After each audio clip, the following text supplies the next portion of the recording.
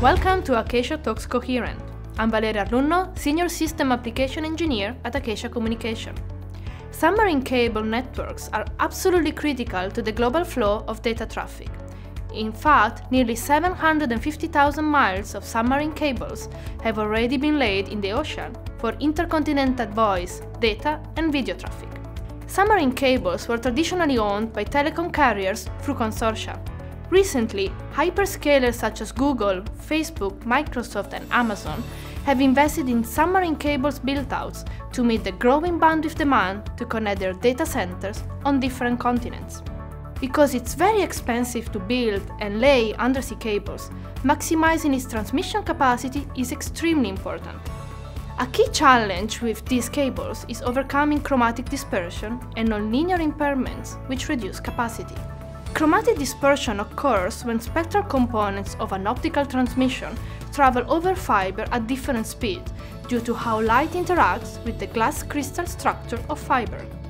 This can result in the receiver not recovering the transmitted data due to time domain interference between adjacent symbols.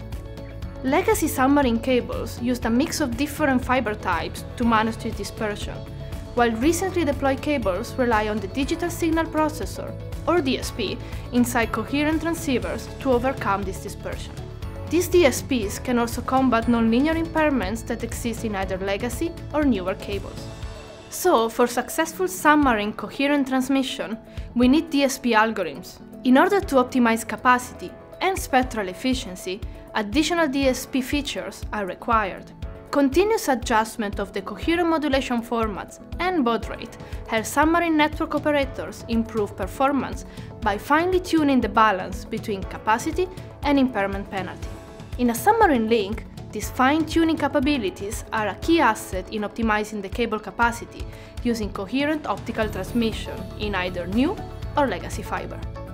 These key capabilities are embodied in Acacia's 3D shaping technology, which are part of Acacia's Pico DSP. Using our AC1200 coherent module, which contains the Pico DSP, we successfully transmitted the first 400 gig single carrier DWDM signal over the 6600 km transatlantic Marea submarine cable.